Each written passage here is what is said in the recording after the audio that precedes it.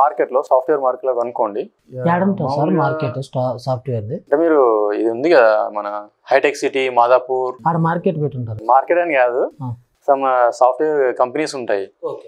మీరు వెళ్ళి కనుక్కోండి అందులో సిఇఓస్ అపాయింట్మెంట్ ఇస్తారు. ఇస్తారా యా కనుక్కోండి సిఇఓ వాళ్ళని కలిసి.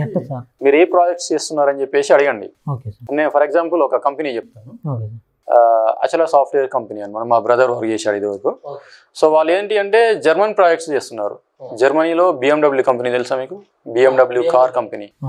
సో ఆ కార్లో ఏదైతే వాళ్ళు ఇన్ఫోటైన్మెంట్ ఉంటుందో దానికి సాఫ్ట్వేర్ అంతా వీలే ఇస్తున్నారు. ఈ నుంచి సాఫ్ట్వేర్. పంపిస్తారా సార్?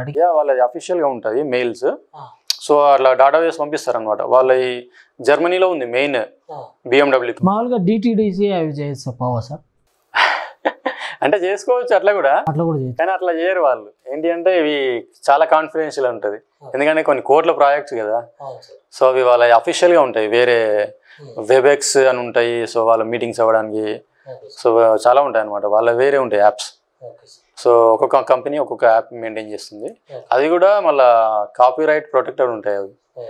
బయట వాళ్ళు యూజ్ చేయడానికి వీలు లేదు. డిటిడిసి ద్వారా కూడా పంపించు కానీ పంపించరు కాన్ఫిడెన్షియల్ కాబట్టి. Okay sir. అయితే ఇప్పుడు ఈ ట్రంప్కు నవంబర్లో ఎలక్షన్స్ ఉన్నాయి కదా సార్. ట్రంప్ గెలుస్తారంటారా ఓడిపోతారంటారా సార్? మీ ఐడియా ప్రకారం. మీ ఉద్దేశం. నేను అంటే కొంతమంది నాకు యూఎస్ఏ ఉన్నారనమాట రిలేటివ్స్ ఫ్రెండ్స్. అంటే నాకు తెలిసింది ఏంటి అంటే యుఎస్ఏలో ఉన్న ఇండియన్స్కి స్టూడెంట్స్కి స్టూడెంట్స్కి మన యుఎస్ఏ గవర్నమెంట్ నుంచి ఎటువంటి సహాయం అందట్లేదు అని చెప్పేసి అన్నారు. ఎవరికైతే అక్కడ గ్రీన్ కార్డు ఉంటుందో వాళ్ళకు మాత్రమే సపోర్ట్ ఇస్తుంది యుఎస్ఏ గవర్నమెంట్ అని చెప్పేసి అన్నారు. ఇంకోటి చాలామంది స్టూడెంట్స్ వెళ్తూ ఉంటారు మన ఇండియన్ స్టూడెంట్స్ ఎంఎస్ చేయడానికి. అండ్ జాబ్స్ లేక చాలామంది జాబ్స్ కోసం సెర్చ్ చేస్తున్నాం అని చెప్పేసి అన్నారనమాట సో వాళ్ళు అక్కడ జాబ్స్ దొరక్క మళ్ళీ ఇండియాకే వద్దామని చూస్తున్నారు. సో మరి యుఎస్ఏలో సెటిల్ అయిపోయిన సిటిజన్స్తో వాళ్ళకేం ప్రాబ్లం రాదు. ఇప్పుడు ఓట్ చేయాలన్నా వాళ్ళు యుఎస్ఏ సిటిజన్ అయి ఉండాలి ఖచ్చితంగా. ఇప్పుడు ట్రంపే కానివ్వ వేరే ఎవరైనా క్యాండిడేట్ కానివ్వండి వాళ్ళకి ఓట్ చేయాలని ఖచ్చితంగా వాళ్ళు సమ్ త్రీ ఇయర్స్ ఏమో అక్కడ ఉండాల్సి వస్తుంది యుఎస్ఏలో. ఎవరు సార్ ట్రంప్కు ఆపోజిట్గా నిలబడుతున్న మనిషి? ఇదివరకు అయితే ఒబామా అని ఎవరు ఉండే కదా. సో మేబీ ఇప్పుడు పోటీ చేస్తారో లేదో తెలియదు ఇదివరకు ఒబామా ఉండే. అవును సార్. ఇది వరకు మా ఇప్పుడు హిల్లరీ క్లింటన్ ఏమన్నా పోటీ చేస్తుందేమో సార్ అయితే. ఏమో తెలియదు మరి. చాలా మంది పోటీ చేస్తారులేండి. అవును సార్. ఒక ఇరవై ముప్పై మంది కలిపి చేస్తారు అవును సార్. ట్రంప్ని ఎదుర్కోవాలంటే ఆ, ఒక్కరు ఇప్పుడు ఒబామా చేసినాడు సార్ లాస్ట్ ఓడిపోయినాడు. అవును. మామూలుగా ఎన్నేళ్ళు ఉండొచ్చు సార్? ఆడ? యుఎస్ఏ గవర్నమెంట్ నాకు ఎగ్జాక్ట్ తెలియదు మరి అక్కడ. మరి త్రీ ఇయర్స్ ఉంటుంది కొన్ని కొన్ని కంట్రీస్లో కొన్ని కంట్రీస్లో ఫైవ్ ఇయర్స్ ఉంటుంది.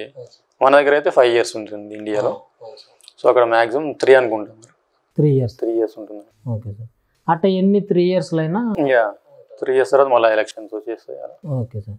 మరి ఈ ఒబామా ఎందుకు వెళ్ళిపోయినాడు సార్? రెండు సార్లు అవుతానే?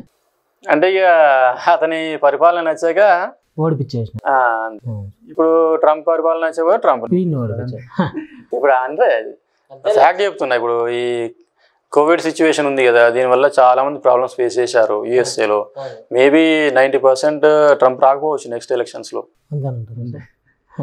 ఓకే. మామూలుగా మీరు హాలీవుడ్లో చేసినప్పుడు అప్పుడు ఎవరుండే సార్? అప్పుడు ఒబామానే ఉండే అప్పుడు. ఫిఫ్టీన్ టైంలో ఒబామానే ఉండే. అయితే ఇప్పుడు చైనా జింగ్పింగ్ పైన మీ ఒపీనియన్ ఏమంటారు సార్? ఇక అంటే తెలిసిందే కదా అందరికి. చైనాకి ఇండియాకి సంబంధాలు సరిగా లేవు ఇప్పుడు. అండ్ ఇంకోటి ఇప్పుడు యుద్ధాలు జరుగుతున్నాయి తెలుసు. సో ఆల్రెడీ వాళ్ళు వెనక్కి మామూలుగా మంచోడనే అంటారా సార్ జింగ్పింగ్ ఏ వాళ్ళు మంచోడా చెడ్డోడా అని కాదు. ఇప్పుడు ఆ పర్సన్ జింపింగ్ అనే పర్సన్ మంచి క్యాండిడేట్ అయినా కూడా మనం ఇప్పుడు ఇండియా వాళ్ళ దగ్గర ప్రాజెక్ట్స్ తీసుకోవడానికి రెడీగా లేదు. లేదా సార్? లేదు. చెక్ డ్యామ్లన్నా కట్టించుకుంది లేదు లేదు లేదు. ఇప్పుడు ఉన్న ప్రాజెక్ట్స్ అన్నీ పోయాయి. వాళ్ళకి చైనా కంట్రీకి చాలా లాస్లో ఉంది. నేను రీసెంట్గా ఒక వీడియో చూశాను యూట్యూబ్లో. ఏంటి అంటే చెఫ్ అంటారు చూడండి. హోటల్లో చెఫ్. అక్కడ చైనాలో ఉండే జనాభా ఎక్కువ ఉంటుంది చైనా. అవునా సార్? చాలా జల జనాభా ఉంటుంది. పాపులేషన్ ఎక్కువ చైనాలో. అరవై డెబ్బై కోట్లు దాకా ఉంటారంటారా సార్ అక్కడ ఇంకెక్కువనే ఉంది ఆడ. ఆల్మోస్ట్ వంద కోట్లకి ఎక్కువ ఉన్నారు జనాభా. వంద కోట్ల జనాభా ఉంది ఆడ. అయితే అక్కడ ఉన్న జనాభాకి జాబ్స్ దొరకట్లే. అయితే ఒక హోటల్ వాడు అడ్వర్టైజ్మెంట్ ఇచ్చాడు. ఏమని సార్? నా హోటల్కి వంట చేయడానికి చెఫ్ కావాలని చెప్పేసి అడ్వర్టైజ్మెంట్ ఇస్తే దానికి ఒక ఐదు వందల మంది వెళ్ళారు తెలుసా? ఒక్క జాబ్కి ఐదు ఒక వందల. అది అది కూడా చెఫ్కి మళ్ళీ. అట్లా ఉందన్నమాట ఇప్పుడు సిచ్యువేషన్ పరిస్థితి ఘోరంగా సార్. ఘోరంగా ఉంది చైనాలో. మామూలుగా ఎప్పుడైనా వెళ్ళినారా సార్ చైనాకి? లేదు చైనాకి వెళ్ళలేదు. కాకపోతే ఇక నేను అసిస్టెంట్ ప్రొఫెసర్గా చేశాను కదా. సో అంటే మామూలుగా కొన్ని ఉంటాయి కదా ఆన్లైన్లో చూస్తుంటాను మరి జర్నల్స్. సో చైనాలో ఉండే డాక్టర్స్ ఉంటారు కదా. వాళ్ళతో మాట్లాడుతూ ఉంటారా సార్? జర్నల్స్ చూస్తూ ఉంటాను. సో చూస్తుంటాను వాళ్ళ కొన్ని ఈమెయిల్ ఐడీస్ ఇస్తారనమాట. మనం కావాలంటే కాంటాక్ట్ అవ్వచ్చు వాళ్ళని. ఓకే. అంటే మీరు బాగా తెలిసిన వాళ్ళు కాబట్టి పెద్దవాళ్ళు కాబట్టి మీకు ఏమైనా డౌట్స్ ఉంటే కాంటాక్ట్ అవ్వచ్చు. సో వాళ్ళు కాల్ చేస్తారు సో అండ్ సో ప్రాజెక్ట్ మీద ఏమైనా డౌట్ ఉంటే. వీళ్ళు చేస్తారు కదా BTech projects MTech projects so అవి చైనా వాళ్ళు చేసిన చేసుకోవచ్చు మనం. సో ఏమైనా డౌట్స్ ఉంటే వాళ్ళకి మెయిల్ పెడితే వాళ్ళు రిప్లై ఇస్తారనమాట ఈ కాన్సెప్ట్ ఇట్లా చేయాలి అని చెప్పేసి వాళ్ళు గైడెన్స్ ఇస్తారు. సో మనం ఆ ప్రాజెక్ట్ ఇంప్లిమెంట్ చేసుకోవచ్చు. నేను చాలా మంది కాంటాక్ట్ అయ్యాను ఇలా. వేరే జపాన్ డైరెక్టర్ వీళ్ళు డాక్టరేట్స్. ఎట్లున్నారు సార్ ఇప్పుడు జపాన్లో పరిస్థితి బాగానే ఉందా సార్? జపాన్ బాగానే ఉంది. బాగుంది సార్? Japan okay. సార్. ఇప్పుడు ఎక్కువ కోవిడ్ నైన్టీన్ తోని వాళ్ళది బాగా భేద దేశం అనుకుంటా కదా సార్ జపాన్. లేదు లేదు సార్. ఇప్పుడు కియా మోటార్స్ వచ్చింది కదా జపనీస్ కంపెనీ అది. అవునా సార్? యా ఇండియాలో వచ్చింది జపనీస్ కంపెనీ ఏది వీళ్ళు మరి సౌత్ కొరియా అంటున్నారు సార్.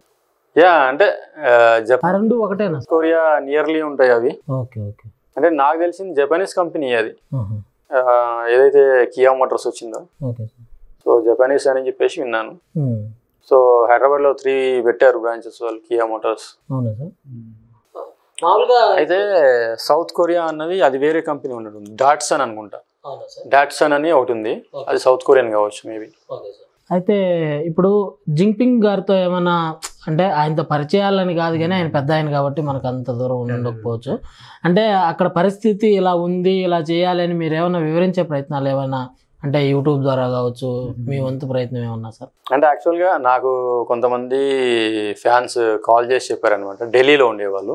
ఓకే చైనా వాళ్ళ సార్? లేదు చైనా వాళ్ళు కాదు. ఇక్కడ ఉంటారు కదా మన తెలంగాణ ఏపీ స్టేట్లో ఉండేవాళ్ళు. అక్కడికి వెళ్ళి ట్రై చేస్తూ ఉంటారు కదా గవర్నమెంట్ జాబ్స్ కొన్ని ఐఏఎస్ ఐపీఎస్ ట్రైనింగ్స్ ఉంటాయి అక్కడ ఢిల్లీలో మంచి ఇన్స్టిట్యూట్ ఉంటాయి అనమాట ఐఏఎస్ ఐపీఎస్ ట్రైనింగ్ సో అక్కడ ఉండే వాళ్ళకి ఏంటి అంటే మన లాక్డౌన్ టైంలో చాలా ప్రాబ్లమ్స్ ఫేస్ చేశారంట. సో అయితే ఒక వీడియో పెట్టండి అని చెప్పేసి అన్నారు వాళ్ళు రిక్వెస్ట్ చేశారు. సో నేను వాళ్ళ కోసం ఒక చిన్న వీడియో చేశాను అనమాట సో ఇట్లా సెంట్రల్ గవర్నమెంట్ రెస్పాండ్ అవ్వాలి ఇట్లా తెలంగాణ వాళ్ళకి ఏపీ వాళ్ళకి సరే నిత్యావసర వస్తువులు ప్రొవైడ్ చేయాలి. అండ్ వాళ్ళని ఏంటి అంటే వాళ్ళు అక్కడ రూమ్స్లలో రెంట్కుంటారు కదా.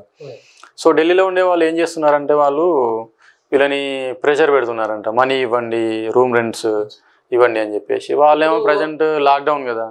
ఇన్కమ్ అందరికీ లేదు అని తెలుసు. సో చాలా ప్రాబ్లమ్స్ ఫేస్ చేశారనమాట ఒకవేళ చైనాతో కావచ్చు లేదా పాకిస్తాన్తో కావచ్చు ఏదైనా రిలేషన్షిప్స్ని కొద్దిగా మెరుగు చేయాలి అనుకున్నప్పుడు గతంలో మనం చూసినాం సార్ మహమ్మద్ అలీ గారు కానీ వీళ్ళందరూ చాలా మంది సెలబ్రిటీస్ ఆయా దేశాల మధ్య ఏదైనా శత్రుత్వం ఉన్నప్పుడు వీళ్ళు మధ్య వ్యక్తిగా మధ్యవర్తిత్వం చేసి సెటిల్మెంట్స్ అవి చేస్తూ ఉంటారు. అవును సార్. ఆ పీస్ని క్రియేట్ చేసిన వాతావరణాలు ఉన్నాయి. అలా మీకు కూడా ఏదైనా అవకాశం వస్తే మీరు చేస్తారా సార్? అయ్యా డెఫినెట్గా చేస్తాను నేను. అవును సార్. ఆ, అంటే నేను సిబిఐలో వర్క్ చేశాను కాబట్టి అవును సార్. నన్ను చాలా మంది కాంటాక్ట్ అవుతూ ఉంటారు. ఎవరన్నా అజిత్ దోవల్ గారు అలాంటి వాళ్ళు అవుతూ ఉంటారా సార్? అంటే నేను చాలా మంది పెద్ద పెద్ద వాళ్ళతో కాంటాక్ట్స్ ఉన్నాయి నాకు. అమ్మో. సో ఇట్నే కొన్ని ల్యాండ్ ఇష్యూస్ ఉంటాయి కదా. సో ల్యాండ్ ఇష్యూస్ కానివ్వండి అట్లాంటివి కొన్ని నేను డైరెక్ట్ డిఏజ్ గారిని కలిసి మాట్లాడతాను అనమాట సో అండ్ సో ఇష్యూ జరిగింది. అని చెప్పేసి అంటాను. సో అతనికి న్యాయం చేయించండి జరిపించండి అని చెప్పేసి సో డిఐజీ దృష్టికి తీసుకెళ్తాను. సో డెఫినెట్గా రెస్పాండ్ అవుతారు. ఎందుకంటే అఫీషియల్గా కంప్లైంట్ ఇస్తే ఖచ్చితంగా రెస్పాండ్ అవ్వాల్సిందే. ఇప్పుడు పాకిస్తాన్తో చైనాతో ఎలా మీరు అంటే ఎలా ఉండాలని కోరుకున్నారు ప్రజెంట్ మనకు ఇండియాకి పాకిస్తాన్కి అయితే ఎటువంటి శత్రుత్వం లేదు ప్రజెంట్ లేదా సార్? లేదు లేదు. సో అంతా నార్మల్గానే ఉంది సిచ్యువేషన్ అయితే. ఆ, పోయిచ్చినారా సార్ ఎప్పుడైనా? లేదు లేదు పాకిస్తాన్ జస్ట్ షూటింగ్లకి అయి సార్? లేదు షూటింగ్స్కి ఏమి వెళ్ళలేదు పాకిస్తాన్కి. అంటే రీసెంట్గా నేను విన్న న్యూస్ ఏంటంటే టీఆర్ఎస్ గవర్నమెంట్ మొహమ్మద్ అలీ గారికి కోవిడ్ నైన్టీన్ పాజిటివ్ వచ్చిందని చెప్పేసి విన్నాను. ఆ, నిన్ననే క్యూర్ అయిపోయిందని చెప్పేసి ఇప్పుడు దానికి పాకిస్తాన్కి ఏం సంబంధం సార్? లేదు లేదు పాకిస్తాన్కి ఏం సంబంధం లేదు. చెప్తున్నా. అంటే మన దగ్గర కూడా ఉన్నారు ముస్లిమ్స్ మంచి అంటే మంచి పదవులలో ఉన్నారు ముస్లిమ్స్ మన తెలంగాణ రాష్ట్రం కూడా. ఇప్పుడు చైనా గురించి ఏమంటారు సార్? చైనాది చెప్పాను కదా ఇప్పుడు ప్రజెంట్ అయితే జింగ్పింగ్ గారి గురించి ఏమంటారు సార్? అతను మంచోడేనంటారు నాకు అతని గురించి పర్సనల్గా తెలియదు welcome to Ethic TV channel please to subscribe Ethic TV channel like the videos share the videos and comments మంచిగా పెట్టండి. ఇంటర్వ్యూస్ చూసి